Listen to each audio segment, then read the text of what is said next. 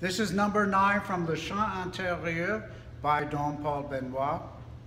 Et l'âme peut trouver et voir ses bontés infinies quand elle considère en ce mystère ce qui est long et dur.